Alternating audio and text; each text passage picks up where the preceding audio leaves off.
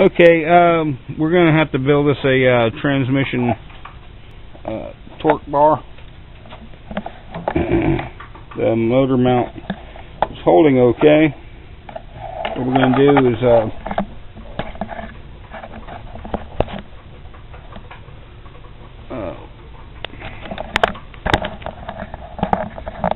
I'm going to take a remove this bolt. I'm going to loosen up the mounts. We're going to roll the motor back to where it needs to. Take this bolt out here. I'm going to have a piece of angle go from here down to the uh, to the frame. Just piece of angle iron. It'll be uh, mounted down here with uh, a bolt. anyway. Yeah.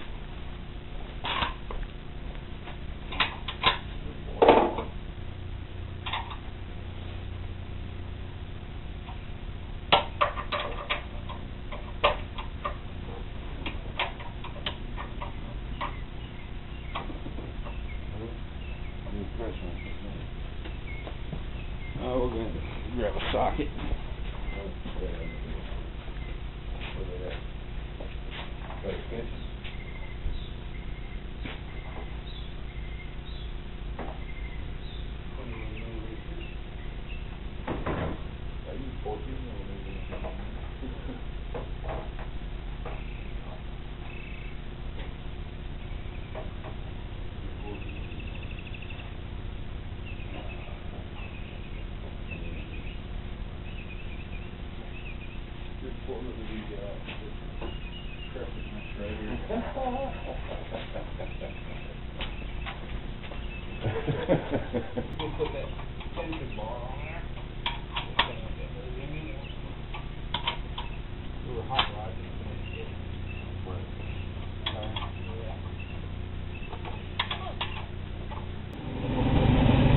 Okay, this is the brace that Norm put in the vehicle. To support the transmission